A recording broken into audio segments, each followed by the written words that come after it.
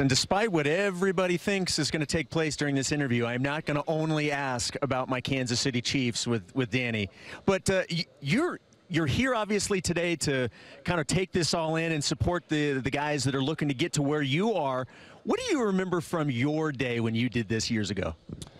Um, a lot of nerves. Uh, I remember you have a lot of things going through your head, a lot of uncertainties, and um, you just hope that everything that you've been training for, preparing for, practicing over and over and over again, um, that you can execute it, and uh, that you know somebody out there, one of the scouts, will will see you and, and like you.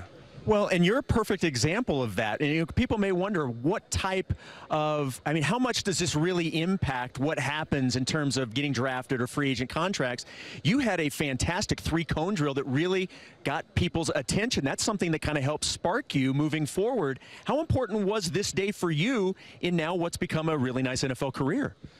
Um, yeah, it, uh, anytime you can get out and, and show your skill set, and uh, you know maybe maybe that's what um, you know scouts like to see was, you know how I performed in, in the some of the agility drills. Um, but it's just an opportunity for scouts to look at you um, again because uh, a lot of them have already watched the film, they've watched the tape, they know who these guys are. It's another chance for them to see, okay, you've been working for so many weeks on, on you know, getting faster or getting stronger, or what improvements have you made, you know, and, and things like that. And so um, it's a really big day for, for these guys. What do you what have you seen so far? Anybody catch your attention? What uh, what do you, what do you make of this group trying to make it to the NFL?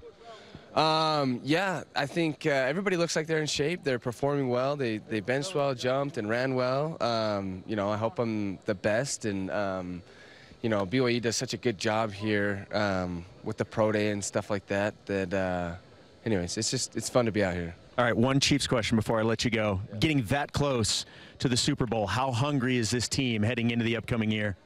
Uh, yeah, um, as hungry as you can be, I guess. Uh, we got a little taste of it. We've gotten, you know, closer each year. Um, we were right there, so uh, I think this year we'll just, you know, just a little bit more we should be there. Danny, that's what I like to hear. Thanks for the time. Appreciate it. Yeah.